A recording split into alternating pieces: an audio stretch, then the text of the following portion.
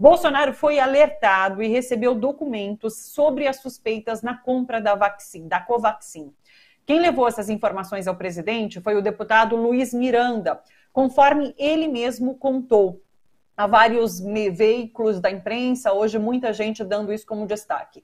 O parlamentar, que é do DEM, integrante, portanto, da base governista, é irmão de Luiz Ricardo Fernandes Miranda, que é chefe da divisão de importação do Ministério da Saúde.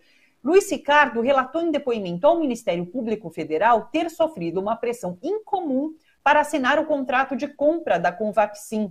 Segundo o deputado Luiz Miranda, o irmão dele, Bolsonaro disse, quando ele levou essa denúncia, que acionaria a Polícia Federal. Mas o deputado não recebeu qualquer retorno do presidente sobre essa denúncia. Caso se confirme que Bolsonaro não tomou nenhuma atitude diante dessa denúncia, isso pode configurar prevaricação. Luiz Miranda e o irmão vão depor nesta sexta-feira na CPI da Covid, de acordo com um requerimento que foi aprovado hoje.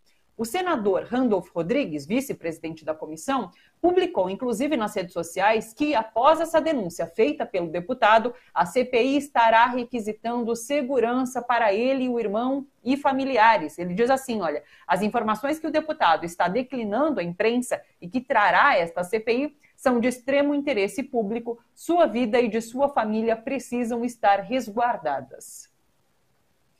Bom, o contrato com a Covaxin entrou na mira da CPI após o Ministério Público Federal ter enxergado indícios de crime. Documentos mostram que o Ministério da Saúde sabia de descumprimentos do contrato e buscava contornar essa situação. A entrega da Covaxin, por exemplo, deveria ter começado em maio, mas nenhum lote chegou.